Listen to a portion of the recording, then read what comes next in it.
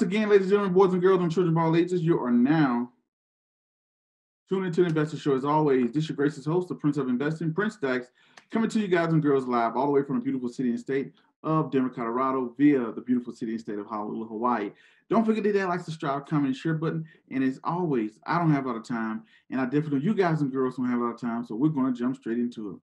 So the first thing that we want to do and bring up to you guys and girls is we talked about today's topic is going to be the Prince of Investment.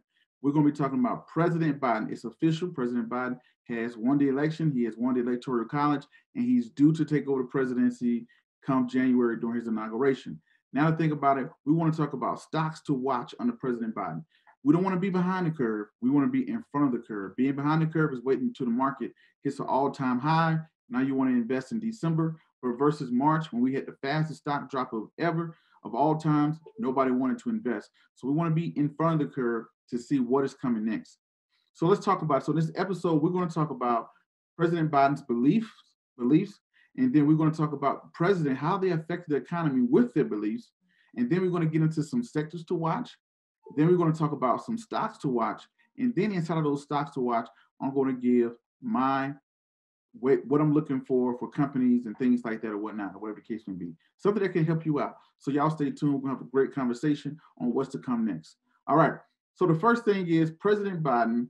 His belief is he wants us to he wants us to move forward. He wants us to build infrastructure, build replace our roads, build new. Uh, you know, we see they want to rebuild the roads, infrastructure, right? Also, he believes in pushing the envelope and getting us away from oil and using more things like green energy, you know, like things like solar panels and electronic vehicles and things like that. So he's big on that. He's big on infrastructure. He's big on uh, energy saving, renewable energy. So renewable energy is big, what he's big on. And he also is, big on rebuilding our infrastructure, getting us those new roads, building new buildings, things like that. The number three thing, which is right now dominating the headlines and what's got us all into this, is healthcare. Always talking about who's going to do healthcare, what's going to do healthcare, re, uh, having healthcare for the elderly. Think about it. The baby boomers are getting older and older and older, and the baby boomers are moving to things like assisted living. They need more medication. So he's talking about re-energizing uh, healthcare. So with that being said, ladies and gentlemen, that kind of leads it to what sectors we're going to look at, but we have to look at why, how does the president affect the economy, right? With his policies. So for prime example, we have a great election coming up here with Congress, which is more important. We already know the House is already majority Democrat. The president is Democrat, but now you have Republicans that's in the Senate. So we have a big Senate vote that's coming up here in January, which I think it'll probably remain Senate strong. But if it does flip to Democrat, that means that President Biden can get his policies by quick and faster uh, without having to stumble through uh, stumble through the Senate. But even when if the Senate remains, he's still going to have major influence since he's the president and he does have the House. He's going to have a major influence in being able to push different policies that he want to, want to be seen. Now, with this being said, it comes down to money, policies, and funding. So policies and funding, that's what politicians do. They affect policies and different types of policies, as we saw what happened with Uber. The government came out and said, hey, you know what? You must now classify your workers as contract. You must now classify your contractors as workers. That itself would have ruined Uber, not good for Uber at all. But in the reverse way, look what President Trump did, and I think President Biden, not President Biden, but President Obama may have started it. But we have a tax break for renewable energy. So they signed into law. If you go get solar panels on your house, and let's say the solar panels cost ten thousand dollars, we're going to reward you five thousand dollars just for doing it. Tax breaks. So that's the number one way the government can affect pilot can write policies to be able to give tax breaks to people that buy your product. Hey, if you turn green, you get a tax break. If you're building infrastructure for the federal government, you can get a tax break. You can get what they like to call tax credit. Remember, everybody said, why did President Trump only pay $700 in taxes? Because he released a lot of, he, re, he received a lot of tax credits to build certain infrastructures. I won't say all of them. I don't want to go deep into that, but I'm just speaking of how it works. For prime example, I'm a politician. I want a bar to come to my city, or I want to re-energize my city. I'm to incentivize people to move to my city. I may give them a tax credit on local taxes. I may give them a tax credit on the water. Like, hey, if you use water in my city, the city controls water, the city controls local taxes. We can give you a tax break if you bring your business to my city. So local government does it all the way to the federal side. But on the federal side, those are huge tax breaks. So for prime example, in renewable energy, if you get a green energy car, you can get a tax break. If you get a solar energy, if you get solar, if you take your house green, you can get a tax break. Also, they could say, hey, for infrastructure, if you, the government can start now putting out contracts, say, hey, we want to put $10 billion into rebuilding Washington, D.C., and they can do that rather easy by saying, hey, we're going to give, uh, we're going to issue a government contract to a company that can help build the infrastructure, whatever the case may be. So now companies can go in, go on and work for the government to help build the infrastructure, whatnot. So right now, infrastructure stocks are very big. So we're talking about President Biden, how his policies can affect the economy. That's why it's so important. And this can help you get in front of the ball. So since we know he's big on infrastructure, renewable energy, and healthcare and things like that, and we know we have a bunch of baby boomers that are getting older, it would be it would behoove us to do what? It would behoove us to look at um, this, the infrastructure sector, which is consumer material, you know, construction materials. So let's look at the construction materials sector. Also, let's look at the renewable energy and let's look at healthcare. So the sectors we're going to zoom in on are construction material, consumer uh, renewable energy, and also healthcare, right? So now when we break those down, now we know the sectors. Now we said, well, Prince, um, it's a huge sector. There are hundreds of stocks there, or whatever companies or whatever. How do we find a company to invest in? Now there are a million ways you can do it. There are a million different type of ratios, but I'm going to give you five little simple things that you can start with when analyzing. Number one, I'm going to look at the fundamentals of the company. You know, knowing the fundamentals of the companies will help me sleep at night. So uh, if I know a company has $1 billion in cash and they only have $100,000 worth of debt, I can sleep a little bit easier at night versus a company that has $1 billion in cash and $10 billion in debt. That's current. That could, that's number one way, looking at those total current assets, not having the working capital, right? So for prime example, so what I'm going to look at, I want the company to be profitable. I want to be profitable. Number one, you got to be profitable because in this entire sector, there are plenty companies that are profitable in infrastructure. There are plenty, um, there's plenty money in the renewable energy sector that's already profitable, and there are plenty of healthcare companies that are already profitable. So if you're not profitable in the space, why aren't you profitable when all your brothers and sisters are profitable? And I like companies that are turning profits because when you're uh, when you're returning profits, that can increase your retained earnings. And the more money that you retain as retained earnings, that can be a great indicator of expansion in the future. So I want to see those profitability coming in, and I want to see that retained earnings retaining higher and higher and higher to be able to expand into the future. So that's not the only thing, but that's why profitability is so important. Number two, the debt to equity, uh, debt to equity ratio, a debt to cash. You know, how much money do you have on hand in total current assets or in cash? How much total, what's the total liabilities you have? Because, or how much debt or long-term debt you have, because we all know it's not about how much money you make, it's how much money you keep. So if you have a high amount of cash that's coming in, but then you also have a high amount or even higher amount of debt that's going out, that affects your retained earnings. Let's walk through it. I make a million dollars a year, but then again, I spend nine hundred thousand dollars on to live my life. That means I'm only walking away with hundred thousand dollars in retained earnings every year, versus somebody else who makes a million dollars. Somebody else can make five hundred thousand dollars a year and only spend one hundred uh, one hundred thousand dollars and um, one hundred thousand dollars or one hundred one hundred thousand dollars and guess what? They have four hundred thousand dollars left over versus the other company only had one hundred thousand, right? So you get that. It's not about how much you make; it's about how much you keep, and that's what you can tell by looking at the current the current liabilities and the long term liabilities as well. And you relate that to cash. So people will look at return on assets. People love to look at uh, working capital, which is total current assets versus total liabilities. So that's one thing. Debt to equity ratio. Uh, how much cash do you have? How much debt do you have as well? I want to see that ratio be a little uh, on the lower end to, to debt to equity. Now you got to worry about the next thing. Now, if you have great fundamentals, there are plenty of companies out there with great fundamentals, but they just don't have that magic to move. It's a company moving. For prime example, everybody knows Coca-Cola is a great business. It's a great company. It's not going anywhere, whatnot. But you don't see Coca-Cola really take off and do big things, right? And that's for two reasons. You know, The number one reason it has a very low beta, and the number two reason it pays a nice dividend. So I want to look at something with a higher beta, a high beta. A beta of one means it's just as volatile as the S&P 500. I want a little spice on mine. I want you to go up a little bit higher. By going up a little bit higher, it doesn't say you're wrong. It's just saying that you have the possibility to move. I want stocks that's going to be able to move into the future. The next thing I'm looking at is what is my benchmark? Uh, if I have a, if I have 10 stocks in my portfolio and I'm looking at adding an infrastructure stock, I'm going to say, okay, well, is this stock beating the stocks that I currently hold in my portfolio? If they are, then why? Number two, are you beating the number one reason? We'll take this back to number one. Let's revert back. Number one, are you outperforming the S&P 500 index? I can do that with simple look at a chart, right? Are you outperforming the S&P 500? The reason why that is so important because if you're not outperforming the S&P 500, if your individual stock is not outperforming the uh, S&P 500, which is the top 500 companies in America, then I might as well just get the top 500 companies in America because the likelihood that the top 500 companies in America will have a significant decline versus your individual underperforming stock is greatly different. So my first thing is, are you outperforming the S&P 500 when I place you on the chart?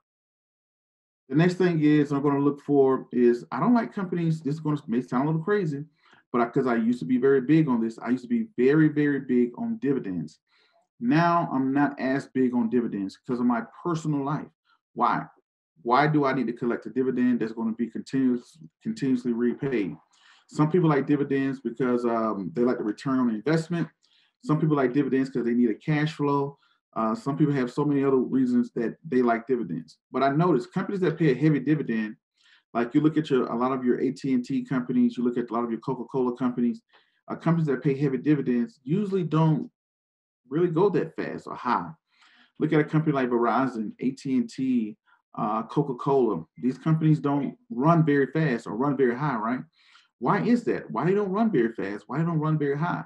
They don't run very fast, run very high because of the cash that's coming in, a lot of that is going to dividends.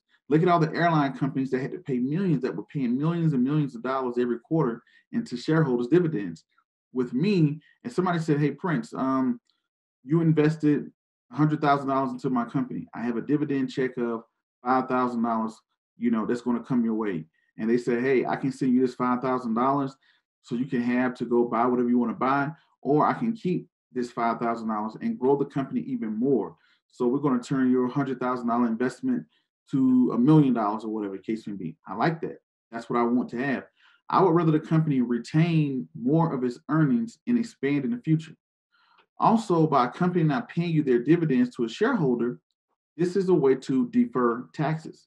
So, for prime example, let's take someone who owns Coca Cola and they earn a million dollars in dividends. Guess what? At the end of the year, when it's time to pay taxes, they're gonna have to pay a million dollars on, you know, they're gonna pay a million dollars on the dividends that they receive. Versus take someone else who invested into Google, they didn't pay any dividends, they weren't paid any dividends, they didn't sell the stock, they just held the stock. Guess how much they're gonna owe in dividends? Zero. And on top of that, I probably don't have to tell you guys and girls, but you already know that Google probably outperformed Coca-Cola anyway. So, so excuse me, technology companies that don't pay dividends usually grow faster and put more money in my pocket. But what we're going to do, we're going to take a quick break, and I mean a very quick break. And after this break, we're going to come back. We're going to do a little review what we already talked about. then we're going to break it down into the actual stocks that I've seen that you can take a look at and how to find a particular stock. That's what we're going to get into after the break. How to find the exact stocks in the sectors we just named under President Biden. But uh, we're going to take a quick break and we, and we will be right back.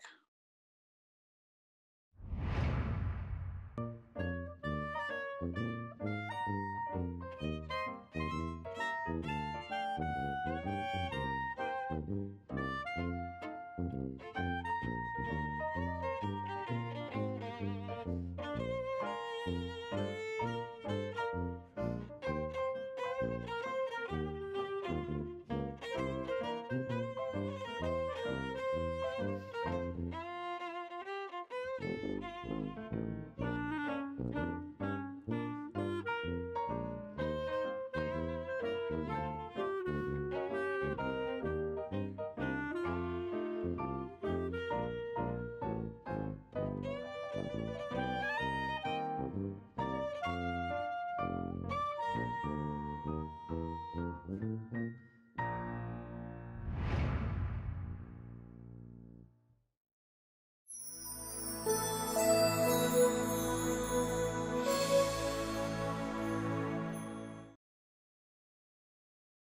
Ladies and gentlemen, boys and girls and children of all ages, we are now back live on the Prince of Investment. I'm your host, Prince Dykes. I'm going to give a little review for anybody that may be uh, tuning in now or may catching it live. And so that if you, maybe if you were asleep in the beginning, that you can catch live what we have now. But the first thing is that we talked about, we talked about infrastructure. We talked about, um, we talked about, well, let's get back to the very, very beginning. This whole episode is stocks to watch up under President Biden. And the stocks that we came up with uh, to watch under President Biden, we talked about why his what his opinions were, and we said it was infrastructure, renewable energy, and healthcare. On top of that, we looked at how does the president affect uh, companies in the stock price. We love to look at the fundamentals of a company, how much money they make, and things like that, right?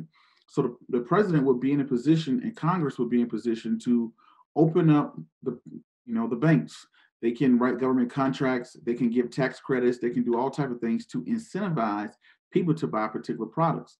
Prime example: if the government wants to fix the roads, they can allot, allocate money and move money around to give to cities and counties and states to help fix the roads. And the companies that do fix roads, that put them in a position to capitalize. So that's how the president affects the economy. The third thing that we talked about was the particular sectors. We looked into the sectors. We looked into the sectors of infrastructure, renewable energy, and healthcare. The president's made it very clear that he wants to, uh, you know, uh, um, he was the vice president of Obama who created Obamacare. So he's very big on Obamacare. And the second thing is we have a lot of baby boomers that's moving right into that older age of when you're gonna need more healthcare. The next thing was renewable energy. We see that renewable energy companies like Tesla is taking off. Solar panel companies they're having great years. Um, so green energy is another one, and infrastructure that we already spoke about. So those are the sectors. Then we talked about inside of those sectors, what do you look for in a stock? And I said, I want profitability, low debt to income ratio, um, a high beta, um, outperform the S&P 500, and that pays no dividends. They have, I want their income steadily growing, their revenue streams are steadily growing, gross profit steadily growing, retained earnings steadily, steadily, steadily growing. So I'm looking for companies that are growing where, and I'm not grade, grading them by what they said or do. I'm looking at their numbers. Are their numbers increasing year over year? How does their debt look? Is their debt increasing? If it is, is gross profits increasing? So looking at that income statement, looking at that balance sheet, and also paying attention to the cash flow. So with that being said, now we said before the break, we talked about the sectors. How do we find somebody in the sector? So the first thing you can do, uh, there are plenty of ways if you have Robinhood, not Robinhood, I'm sorry about that. I don't know Robinhood. Um, it's having a crazy day today. But we're talking about if you have maybe like an E-Trade or a TD Ameritrade or maybe like a simple Google search, you can find some of the top companies in the infrastructure arena. So how do you find the top company is you can search by their market capitalization. Market capitalization is the share, how many shares are outstanding times the share price. That's going to come up with market cap. So you have mega cap mega cap, mega large companies, you have large cap companies, mid cap companies, and you have small cap companies. This is how they rank companies, how big they are, and whatever the case may be. So the thing about it is, first I want to start with the big boy, the biggest and the baddest in the sector. Once I list out your market capitalization, are you the biggest and the baddest in the section? Now you're going to fall into, um, are you profitable? And usually the biggest and the baddest company is usually profitable, you usually have good uh, debt to equity ratio, um, then I'm looking at stock price, and I'm looking at this beta, and then I'm looking at how does it compare to the S&P 500, and does it pay dividends? And then if none of that happens, if all of that happens to line up, then I may go with that company. I may not go with that company. Then I may look at who else is in that sector. Who's the top three, right?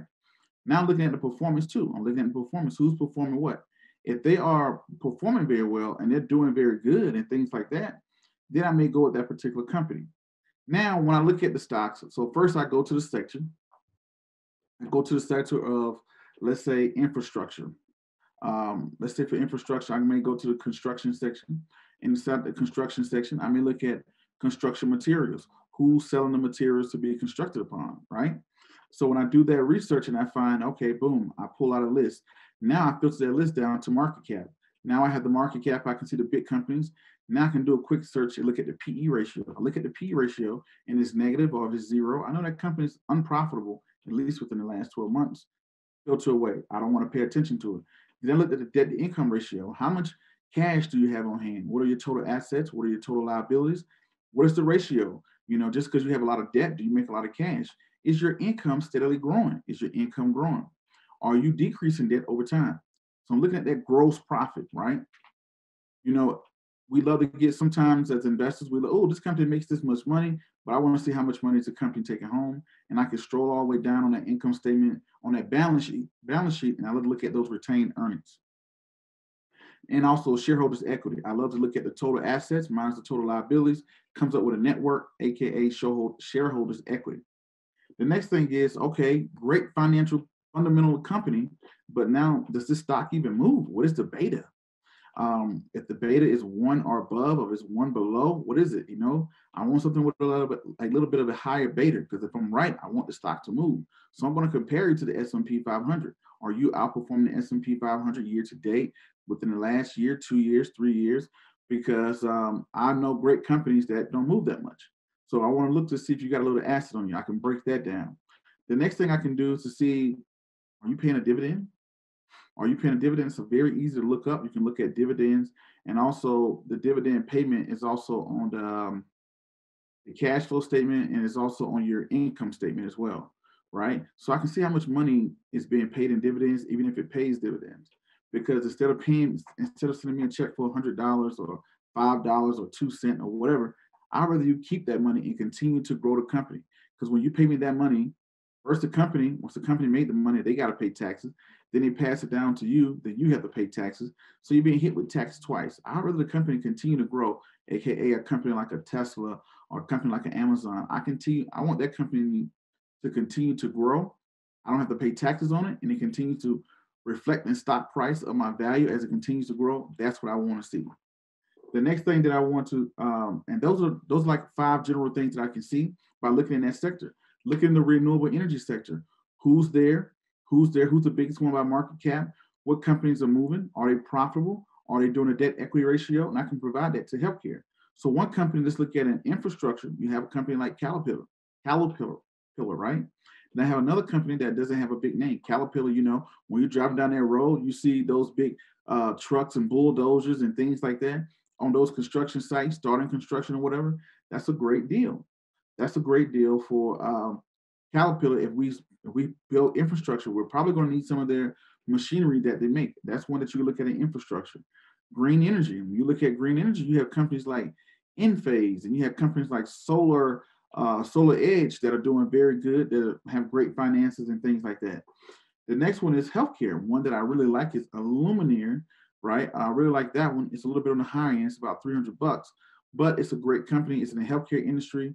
It's not just taking care of people, but it's creating technology. It's creating technology, diagnostics, and things like that.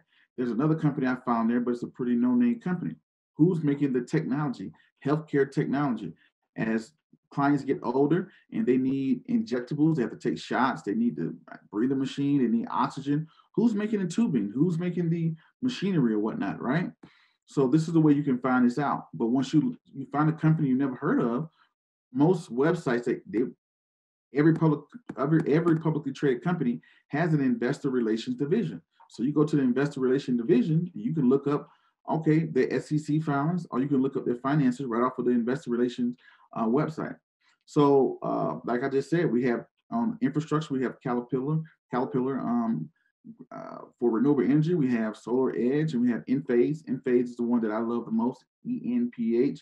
And healthcare, you have Illumina right? So when you look at all these particular companies, you have so many ways to uh, profit and, and invest, right? You can align yourself to get in front of what the President Biden's presidency will look like in those particular sectors, breaking down those stocks. So in this episode, quick recap, we talked about President Biden's belief, and we talked about the three sectors that his beliefs kind of tie into. We talked about how does the president um, how do they incentivize people to buy from companies, incentivize businesses? Then we looked at the sectors, and inside those sectors, we looked at five things to look for in stocks, and then we find we found five individual stocks under President Biden's election that you can get in front of. Please do your due diligence. This is not me telling you to buy anything. This is just me giving you my opinion in a way that I kind of look at things like that. I do not hold Caterpillar, I do not hold Solar Edge, and I do not hold Illumina at this time. I do own Enphase. I'm making sure I have the duty to disclose that. too. So I'm not trying to influence anybody to go out here and buy something that I already own to run the price up. So got way more integrity than that. But anyway, ladies and gentlemen, that's going to conclude today's episode. Make sure you hit that like, subscribe, comment, and share button. And let all your friends know, all your mom, where you could come back here and get the Prince of Investing. Catch us on YouTube. Subscribe on YouTube. Subscribe on the podcast or wherever you're catching this. Anyway, my name is Prince Dykes. I'm the Prince of Investment. And to the next video, podcast, cartoon, or whatever else crazy you see me doing around the globe, peace, be safe. I'm out, and thank you.